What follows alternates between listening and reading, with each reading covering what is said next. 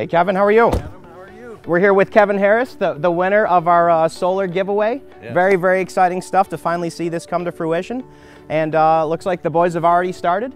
And uh, we're going to get into that and some of the details of what they're doing right now. Initially, this had uh, an old, about 10 year old three tab roof on it that's been completely uh, removed and replaced. Along the way, we replaced a lot of rotten wood and just got it ready to be a good foundation for the solar system that we're installing today. If we want to take a look towards the roof right now, we can see that we've begun to lay out some of the feet. We have some of our chalk lines to make sure that the panels go on nice and straight, exactly how they're supposed to. And then the next step will be wiring them all together and then finally installing the panels and making sure that we're turning some of this uh, sunlight into energy. Our team is divided of a couple different professionals and uh, maybe we should walk over to electrical and see how he's doing over here. All right, so uh, when we first met Mr. Harris, he had a little bit of an outdated electrical panel. So uh, part of, of what we bring to the table here at Bison is that not only are we licensed roofers, licensed solar installers, but we're also licensed electricians. So we had to make sure that his equipment was brought up to date, met all the current local and NEC codes. So what we've done is we've taken what used to be a combo panel and actually thrown that away, uh, had FPL shut off the power and install a brand new load center. This way, if Mr. Harris or his family wants to add anything down the road, he's not maxed out. And we have a brand new 200 amp service right here, in addition to a brand new, new meter can.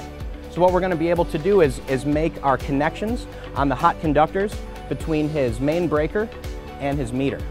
This way, all the solar that feeds in won't hurt any of his other uh, appliances or anything that he has set up and he has a brand new electrical service moving forward. Over here you can see this is where uh, the power comes in directly from FPL, goes in these wires here, goes into the main breaker that he has right here.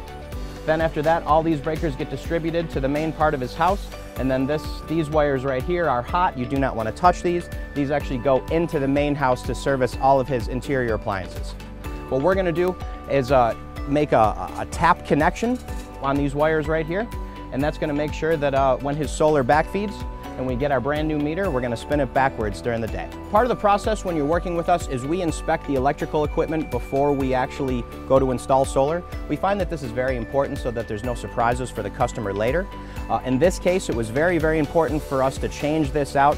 The equipment that he had was dated and was uh, not rated to handle the backfeeding amps that we're going to put in with solar. So a lot of times I think when other companies get to this, they either try to make it work or maybe lower a breaker which could actually hurt the customer or, or do something maybe uh, deceitful or something that they can to, uh, to trick you know, the, the customer into signing today and then locking them into some charge later. We find that it's very, very important to look at this stuff first get it right and make sure that all permits are pulled and all inspections are passed long before we even begin of thinking of uh, attaching the solar. And then this is uh, probably one of the last times we'll see this old meter.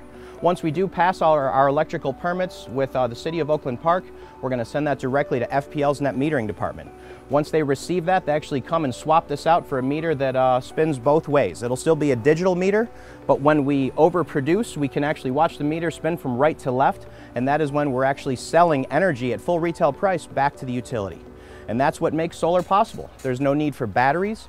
Uh, FPL's grid essentially is your battery, and we make sure that we utilize that on every solar installation.